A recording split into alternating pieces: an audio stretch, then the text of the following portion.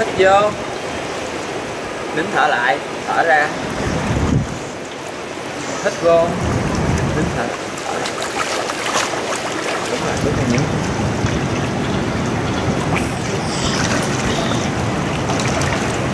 đó. Rồi. Đó. Gần đúng rồi đó nâng eo lên em đó. Thở ra nè. Hít vô nè. Thở ra nè.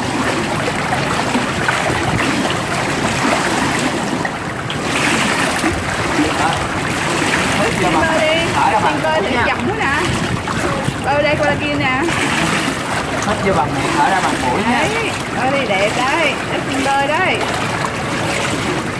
tại động tác mình xuống nước rồi mình phải sửa lại hít vô bằng miệng thở ra bằng mũi. Hít vô bằng miệng thở ra bằng mũi. Đó. Nè thấy không? Thả lỏng thả lỏng gót chân nè thấy không? Đừng có gồng gồng vậy là sai gồng vậy bị giật bẹt à, khép sát hai chân lại. Wow thấy không? thẳng Đó. đi. Thử đi. À, thử Rồi trở đó. rồi tập À, gì đi? em, em tập anh à, anh kêu cho em bơi được có thể bơi được đó bình thường bơi. Đó đúng rồi đúng rồi đúng rồi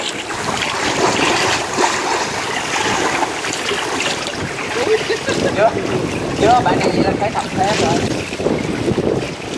Đúng được cái em sửa cái chân lại. Em biết bơi ớt rồi đúng không? Hít hơi vô bằng miệng. Hạ miệng ra hít hơi vô bằng miệng. Rồi ngậm miệng lại thở ra bằng mũi. Rồi hít vô bằng miệng. Làm vậy 10 lần anh coi hít hơi vô bằng miệng thở ra bằng mũi. Dạy bơi tiên cá. Rồi hả miệng ra bơi bằng miệng. nhưng mà là coi như là chưa biết bơi gì hết dạ này bé này chưa biết bơi. Dạ không đúng là chỉ ờ, giao lưu thôi. Chứ không phải ờ, thầy lạnh dạy. hả? Lạnh hả? Nhiều về quá đâu có dạy nổi.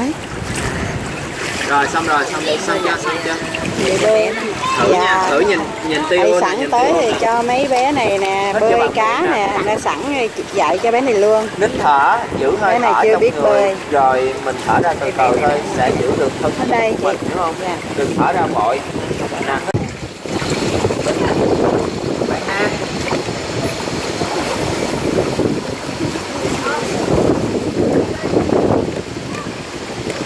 rồi, lại lại đây thưa chị.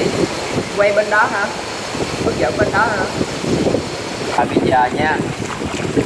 Bạn na nha, cái tay bạn na phải sửa lại cái rồi cái tay ớt của em bình thường là như thế nào? Cái tay ớt của em hồi nãy anh thấy là nó bị hở đây nè. Em khép chụp năm ngón tay lại cho anh như vậy. Đúng rồi. Rồi cái em sửa cái tay lại. Bây giờ bơi cá nha ôi, mấy cái này sao kiểu chịu khó vậy nè? Rồi rồi rồi rồi, đi rồi anh dịch vô cái tay. Nè, cái tay quạt qua nè, nhấn nước xuống nè. Quạt qua nè, nhấn nước xuống nè. Quạt qua, nhấn nước xuống. Quạt qua, nhấn nước xuống, ha. Với lại lúc mà em bơi, em đừng có quạt ra về nha, sai nha. Tới tới ngang cỡ này thôi là được nè rồi tôi uh, bơi thử cho em ờ, trước mặt em để em coi nha. Cái tay anh không có làm vậy giống em nha. Cái tay anh cũng vậy thôi.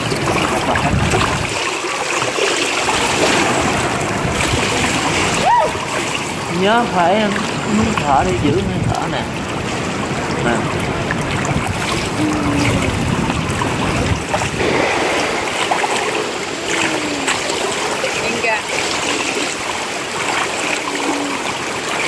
Cái chân cũng không có cần phải dùng lực, hiểu không? Cái chân mình chỉ cần nhí nhẹ cái chân thôi. Khi nào mình quen, kết hợp quen rồi, mình mới vũ chân để bơi nhanh hơn. Giờ mình tập là chỉ vậy thôi ha. Rồi, bắt đầu, làm thử. Có cái tay bị rộng hơn nữa rồi đó. Cái tay bị rộng rồi đó nè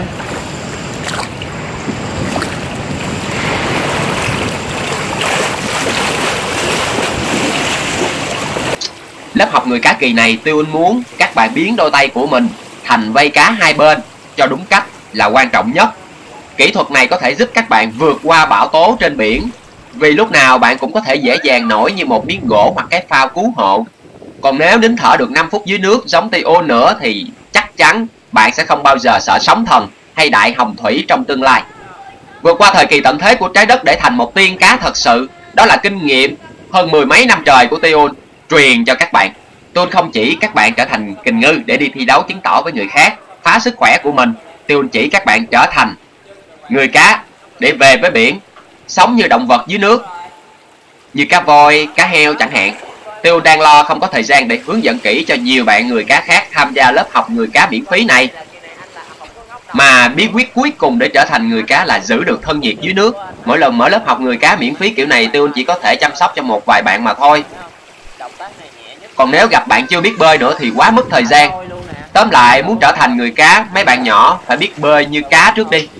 Bơi như cá voi thì càng tốt là kình ngư đó, rồi hãy làm người cá. Bởi vậy lớp học người cá trong tương lai tôi sẽ tuyển thêm kình ngư là thầy cá để hỗ trợ dạy bơi tốt hơn cho các bạn người cá. Cuối cùng Teon xin chia sẻ lớp học người cá của chúng ta sắp tới có 4 chương trình lớn đó là học bơi để trở thành kình ngư, cá voi, để trở thành người nhái, trở thành người cá và tiên cá thì tham gia 4 lớp học này các bạn sẽ được học tất cả bí quyết về bơi lội để giải thoát khỏi nỗi khổ thân tâm, để yêu quý thiên nhiên và bảo vệ động vật hơn. Giống như bí quyết để trở thành kình ngư đi là bạn phải nắm rõ kỹ thuật bơi lội siêng năng tập luyện và ăn uống đúng chế độ dinh dưỡng. Còn bí quyết trở thành người cá thì khó hơn là phải bơi đến mức không bao giờ mệt, nín thở lâu dưới nước và không bị mất thân nhiệt.